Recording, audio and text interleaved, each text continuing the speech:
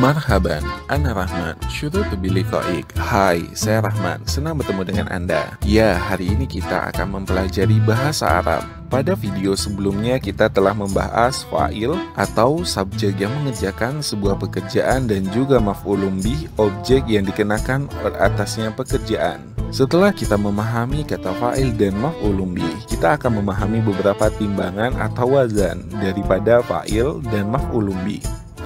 Agar lebih paham, saya akan memberikan contoh berikut ini. Koto al-gula muzahara, pemuda tersebut memotong mawar itu. Setelah Anda memahami contoh tersebut, berikut ini akan saya jelaskan tentang fa'il dan maf'ulun bih. Pertama, bahwa setiap fa'il dan maf'ulun bi selalu berbentuk isim atau kata benda. Jadi, maf'ulun bi atau fa'il bukan berbentuk fi'il atau kata kerja maupun huruf. Apabila kembali kita melihat contoh, maka kita akan menemukan kata al-gulam yang menunjukkan kepada seseorang, sedangkan az-zahra yang menunjukkan kepada nama tumbuhan.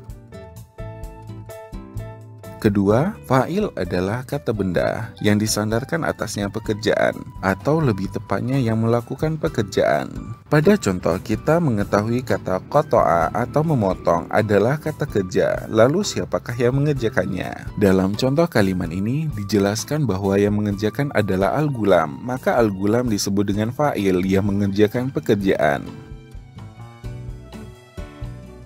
Ketiga, bahwa maf'ulun bi adalah sebuah objek yang dikenakan atasnya sebuah pekerjaan. Seperti pada contoh, kita mengetahui bahwa fi'il adalah kotoa, sedangkan fa'il adalah al-gulamu. Maka timbullah pertanyaan, Madzalladzi kota al-gulam? Apa yang dipotong oleh pemuda tersebut? Maka dijawab dalam contoh adalah al data. Maka al data disebut dengan maf'ulun bi atau objek.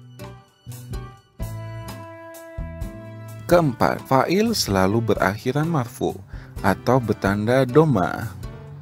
Apabila kita kembali melihat pada contoh kota al-gulamu al-wardata, maka kata al-gulamu berakhiran doma, maka al-gulam disebut dengan fa'il.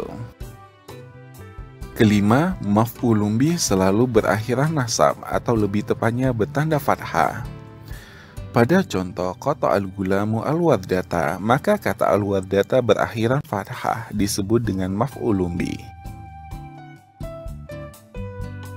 Itulah lima timbangan antara fa'il dan maf'ulun bi. Bagaimana ini sangat mudah bukan?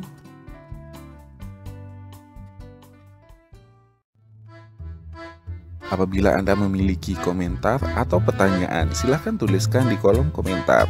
Dan jangan lupa berlangganan dan bagikan video ini jika memberikan manfaat bagi yang lain. Syukran jazilan.